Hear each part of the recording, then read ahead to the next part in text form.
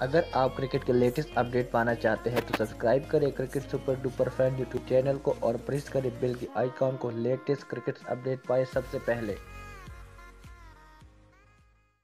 Hello friends welcome to cricket super duper fan دوستو، آج ہم بات کرنے والے I C C world eleven versus West Indies کے بارے میں.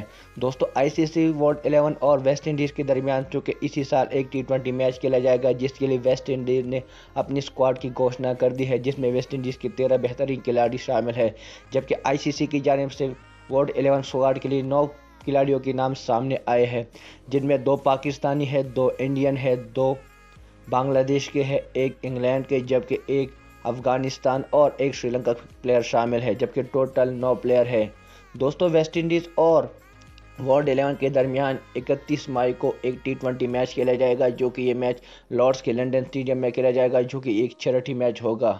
دوستو، اگر ہم بات کریں ورلڈ الیون کی اسکواڈ کی، تو ورلڈ الیون کی اسکواڈ کی کپتانی کرے گی نمبر ایک پہ ہوں گے ایون مارگن جو کہ زبردست انگلش کی پلیئر ہے۔ نمبر دو پہ ہوں گے پاکستان کے شاہد خان آفریز جو کہ زبردست آل راؤنڈر ہے نمبر تین پہ ہوں گے بنگلہ دیش کے شکیب الحسان جو کہ ٹی ٹوینٹی کے زبردست آل راؤنڈر ہے۔ نمبر چار پہ ہوں گے تمیم اقبال۔ بنگلہ دیش کے نمبر پانچ پہ افغانستان کے رشید خان۔ نمبر چھ پہ پاکستان کے شعیب ملک۔ نمبر سات پہ سری لنکا کے تسارا پریرا۔ اور نمبر آٹھ پہ اب انڈیا سے ہاردک پانڈیا۔ اور نمبر نو پہ انڈیا سے دنیش کارتک۔ دوستو، سات پلیئروں کے نام آئی سی سی نے پہلے سے اناؤنس کیے جبکہ ہاردک پانڈیا اور دنیش کارتک کا نام آئی سی سی نے آج ہی اناؤنس کیا ہے۔ یعنی انڈیا کے دو پلیئر، دنیش کارتک اور ہاردک پانڈیا، جو کہ I C C world eleven میں ویسٹ انڈیز کے خلاف کھیلتے ہوئے آئیں گے۔ دوست، اگر ہم بات کریں ہاردک پانڈیا کے جو کہ انڈیا کے زبردست آل راؤنڈر ہے، جو کہ زبردست ہیٹنگ کے ساتھ ساتھ بہترین بالنگ کرتے۔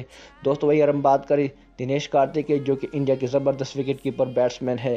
دوستو ابھی تک آئی سی سی نے صرف نو پلیئروں کی نام اناؤنس کی ہے، جبکہ آگے کوئی بھی پلیئر کا نام اناؤنس کرے گے تو ہم آپ کو باخبر کر دیں گے ایک نئی ویڈیو کے ساتھ۔ دوستو، اس ویڈیو بس اتنا ہی۔ اگر آپ کو ہماری ویڈیو اچھی لگی تو لائک کریں، اپنے دوستوں کے ساتھ بھی شیئر کریں۔ اور اگر آپ نے اب تک ہمارے YouTube channel cricket super duper fan subscribe نہیں کیا تو ابھی سبسکرائب کریں، کیونکہ اس میں آپ کو ملنے والے کرکٹ سے ریلیٹڈ نیوز سب سے پہلے۔